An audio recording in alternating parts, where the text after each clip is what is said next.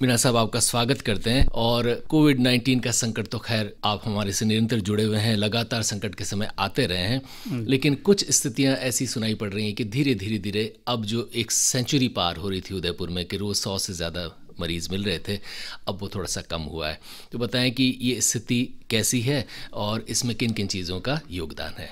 देखिए एक तो भारत सरकार और राज्य सरकार की जो गाइडलाइन है उसकी सख्त पालना सभी लोग लगभग करने लग गए हैं।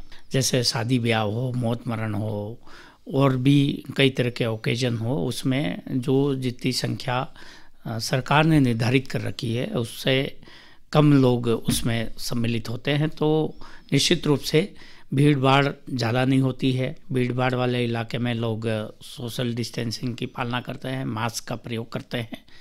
और पूर्ण रूप से लोग अभी सावधान हो रहे हैं, सावचेत हो रहे हैं, जागरूक हो रहे हैं।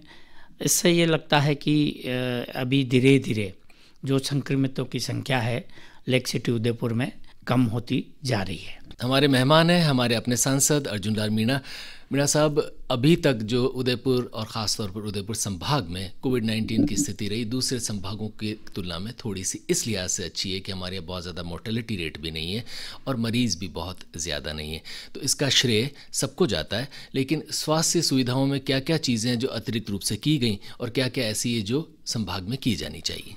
देखिए मैं स्वास्थ्य विभाग के तमाम अधिकारियों को C M H O zone director उनके सभी डॉक्टर्स हमारे मेडिकल कॉलेज के प्रिंसिपल उनके नर अधीक्षक और तमाम नर्सिंग इस विभाग से जुड़े हुए अधिकारी, कर्मचारी और पैरामेडिकल स्टाफ को मैं बधाई और शुभकामना देता हूँ।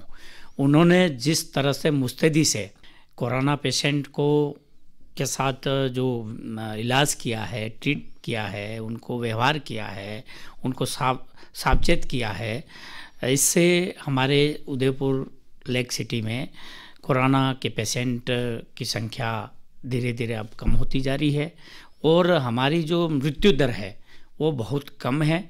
न केवल उदयपुर में, पूरे राजस्थान में भी मृत्यु दर बहुत कम है।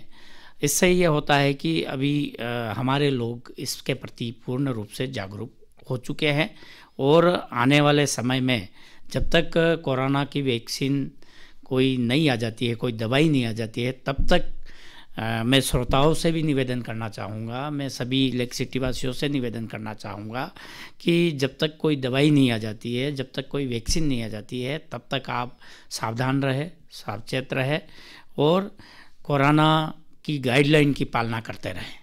मित्रों, हमसे रूबरू हैं उदयपुर के माननीय सांसद अर्जुन लाल मीणा। मीणा साहब, हमने अब तक जो कार्य किया वो तो ठीक है, लेकिन अब सर्दी का समय है और सर्दी के समय में कहा जाता है कि कोई भी वायरस होता है, उसका प्रचार प्रसार कुछ ज़्यादा होता है और विवाह भी हो रहे हैं और विवाह में चाहे उसकी लिमिटेड संख्या हो, लेकिन एक तरह से काफ़ी लोग वहाँ मिल रहे हैं। इन तमाम लोगों को क्या कहेंगे? और सर्दी में बाद में क्या क्या चीज़ें, खासतौर पर हमारे संभाग के लोग, आपकी उनको क्या सलाह होगी? वैसे तो खाने पीने की जो जो मौसम होता है, वो सर्दी का ही होता है। तो मैं तो यही कहूँगा कि आप बहुत अच्छा खाइएगा, पौष्टिक आहार सेवन करिएगा, लीजिएगा और खूब अच्छी तरह से रहिएगा। और कोरोना ये इस वैश्विक महामारी की जो गाइडलाइन है, जब तक वैक्सीन नहीं आ जाती है, तब तक उसकी पूर्ण रूप से पालना करते रहिएगा। भीड़ भाड़ वाले इलाके में नहीं जाए। मास्क हमेशा लगा के रखिएगा। सोशल डिस्टेंसिंग की पालना करते रहिए और समय समय पर हर एक घंटे में हाथ, साबुन से हाथ धोते रहिए। ये जो दो तीन बातें हैं, वो हमेशा हमें उसका उपयोग करते रहना है। आकाशवाणी उदयपुर में हमारे मेहमान, हमारे माननीय सांसद। सांसद महोदय एक चीज़ जो है, वो बार बार हमारे माननीय प्रधानमंत्री जी भी बीच में यकायक एक दिन हमारे यहाँ पर वैक्सीन की क्या स्थिति ये जांचने के लिए पहुँचे कुछ लैब्स में भी और ये आशा भी जताई जा रही है कि भारतवर्ष में तमाम लोगों को ये खुशखबरी जल्दी मिलेगी कि हमारा स्वदेशी वैक्सीन जो है वो तैयार हो सके।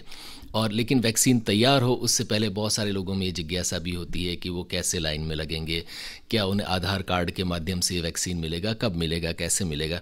थोड़ा सा आप हमारी लोकसभा के सदस्य हैं, तमाम उदयपुर वासियों को बताएँ कि क्या वैक्सीन की क्या स्थिति है और उसके बाद अगर आएगा तो क्या प्रक्रिया होगी।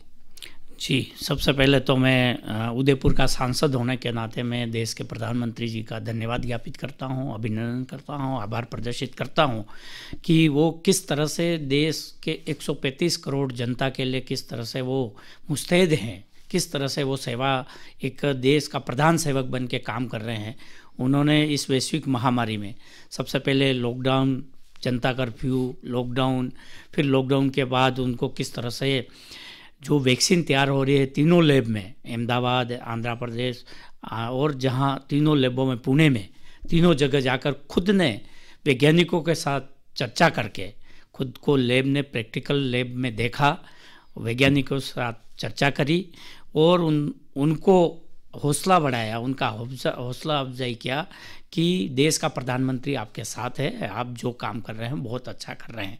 उनकी सराहना की, उनको प्रोत्साहन दिया इससे ये साबित होता है कि हमारे देश के प्रधानमंत्री इस बीमारी के प्रति, इस वैश्विक महामारी के प्रति कितने सजग है, किस रूप में वो देश के प्रधान सेवक बन के पूरी देश की जनता की सेवा करना चाहते हैं और मैं, चूँकि मैं देश की पार्लियामेंट में, स्टैंडिंग कमेटी में, मेडिकल एंड हेल्थ कमेटी का मेंबर होने के नाते, हमारे जो इस से संबंधी हम बैठक करते रहते हैं तो ये जो हमारे देश में वैक्सीन आने वाली है, वो पूरी दुनिया को इंतज़ार है।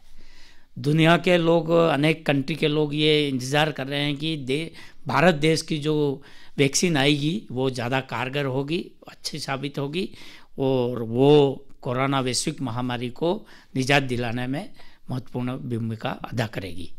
सांसद महोदय, ये उम्मीद कब तक लोग करें? मैं समझता हूँ कि तीसरी ट्रायल अभी चल रही है तो जैसे ही तीसरी ट्रायल कंप्लीट हो जाएगी तो मैं ये दो तीन महीने में, ये नया साल जो आएगा, ये हम सब लोगों के लिए, भारतवासियों के लिए एक खुशी का पैगाम लेके आएगा। और इस वैश्विक महामारी से हम जो डरे हुए हैं, हमारी सारी व्यापारिक कार्य कार्य प्रणाली हमारे सारे सामाजिक कार्य, हमारे सारे खुशी के और जितने भी इस मानव जीवन में जो काम होते हैं, वो एक तरह से ठहर गए हैं। ये ठहरे हुए काम वापस चालू होने के आने वाले नए साल में हमको बहुत बड़ा सौगात मिलने वाली है। और आपने देखा होगा देश, विश्व के अनेक कंट्रियों ने तो वैक्सीन लगाना शुरू कर दिया है। तो हमारा देश भी इसमें बहुत ही जल्दी आने वाले नए साल में हमको वैक्सीन मिलेगी। आकाशवाणी उदयपुर में हमारे मेहमान हैं, हमारे सांसद अर्जुन लाल मीणा।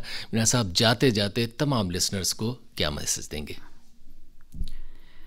सभी श्रोताओं को मैं नए साल की बहुत बहुत शुभकामना देना चाहूँगा। 2021 आप सबके लिए, क्योंकि मुझे मालूम है कि 2020 आपके लिए बहुत कष्टदायी रहा है, क्योंकि एक वैश्विक महामारी न केवल देश में, दुनिया में कोरोना वैश्विक महामारी की आपदा बहुत भारी हम लोगों ने एक लॉकडाउन के रूप में भी चुकाई है। हमारे सारे जीवन के काम कम करने पड़े और हमें हर इंसान को कई तरह की समस्या का सामना करना पड़ा। उम्मीद करता हूँ कि 2021 लेक सिटी वासियों के लिए और हमारे पूरे राज्य के लिए और पूरे देश के लोगों के लिए खुशहाली भरा होगा। और मंगलमय होगा और हमें एक सौगात मिलने वाली है कि कोरोना वैक्सीन हमें 2021 में प्राप्त होगी और हम सब सुखी रहेंगे, सुखी जीवन बिताएँगे। सांसद महोदय, आपका हृदय से आभार।